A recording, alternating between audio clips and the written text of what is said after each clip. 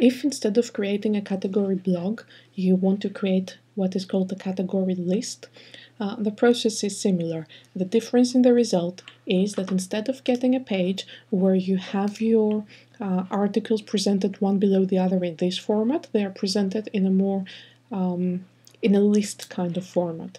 So at the back end, the process is similar. You still need to have a relevance uh, category. You still need to have a list of articles, and you then you need to change something under your menu.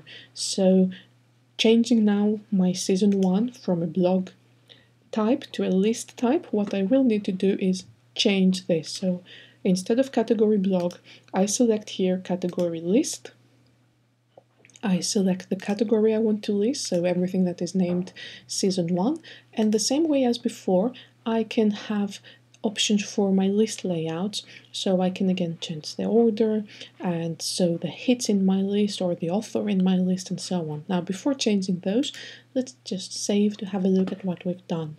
So on the front end, I'm going to refresh, and so now you see how I have a list of episodes and not a blog type of list.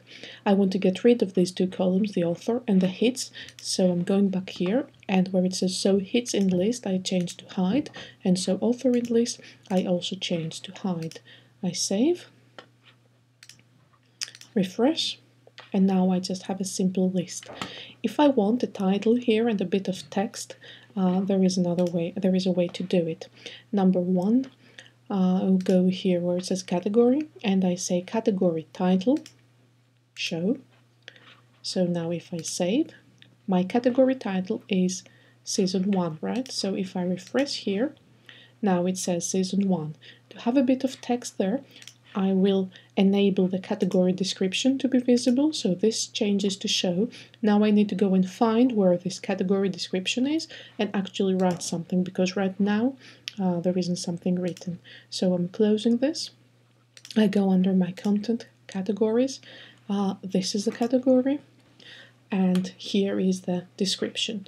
So what I write here will appear over the text. So this is the season one description text. So if I save this, now because I have my category description to visible now, it will appear here once I refresh. So here is my text and my list.